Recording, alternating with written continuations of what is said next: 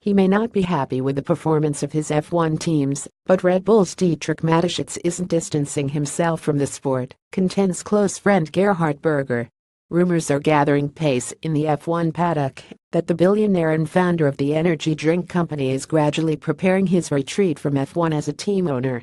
Frustrated with the sport's current state of affairs and where it has left his teams, Mateschitz could be contemplating a sale of both Red Bull Racing and Toro Rosso, but Berger believes patience should prevail. That he is tired of Formula One, I think is wrong, Berger told the Austrian broadcaster ORF.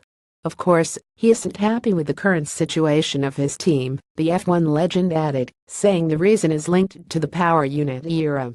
But Red Bull is still a super strong team, and even in this difficult time hardly anyone has left, especially Newey at the top.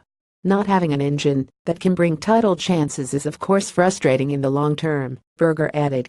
Red Bull's Dietrich Mateschitz reveals his ultimate F1 dream, but the former Ferrari and McLaren driver doesn't think Mateschitz will quit. Red Bull has always had patience, and now is when it's needed. It cannot always go well, it's a difficult time now, but you can see the light at the end of the tunnel.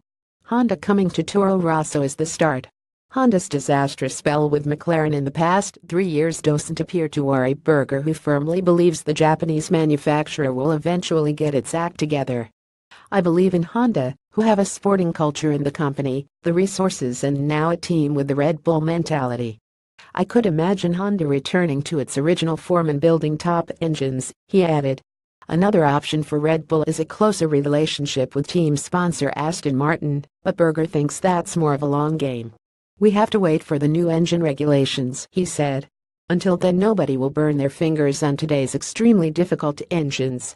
Does Aston Martin Martin have the resources and the possibilities to do it? I don't know, but I doubt it, Berger added.